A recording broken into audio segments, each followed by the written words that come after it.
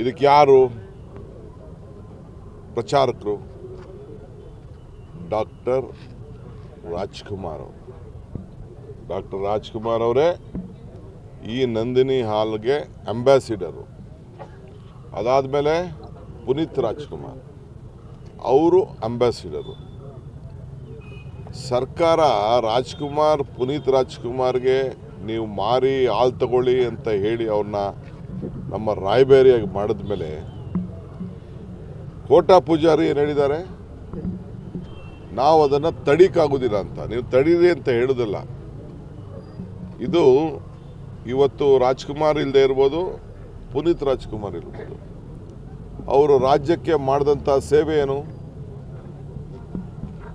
ಇದು ನಮ್ಮ ಹೆಣ್ಮಕ್ಳು ಹಾಲು ಉತ್ಪಾದನೆ ಮಾಡ್ತಿದ್ದವರು, ರೈತರು, ಅವರು ಬದುಕಬೇಕು ಅಂತ ಅವರು ಚಿತ್ರದ ನಟರು ಅಷ್ಟು ದೊಡ್ಡ ನಟರುಗಳು. ಇವತ್ತು ನಮ್ಮ ರೈತರು ಬದುಕಬೇಕು ಅಂಥೇಳಿ ಅವರು ರಾಯಬೇರಿಯಾಗಿ ಕೆಲಸ ಮಾಡಿದ್ದಾರೆ.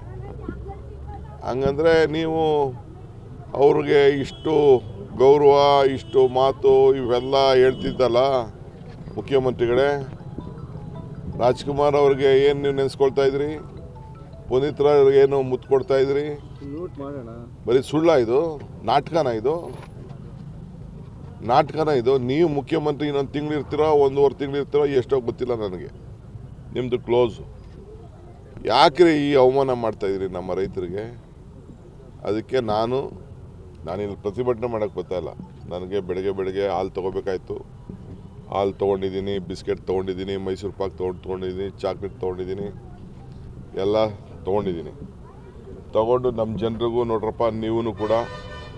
ರಾಜ್ಕುಮಾರ್ ಅವ್ರ ಆದಿ ಪುನೀತ್ ರಾಜ್ಕುಮಾರ್ ಆದಿ ನಮ್ಮ ಮಕ್ಕಳು ನಮ್ಮ ಹಾಲು ಕುಡಿಬೇಕು ನೀವೆಲ್ಲ ಅಂತ ಹೇಳಲಿಕ್ಕೆ ಇಲ್ಲಿಗೆ ಬಂದಿದ್ದೀನಿ.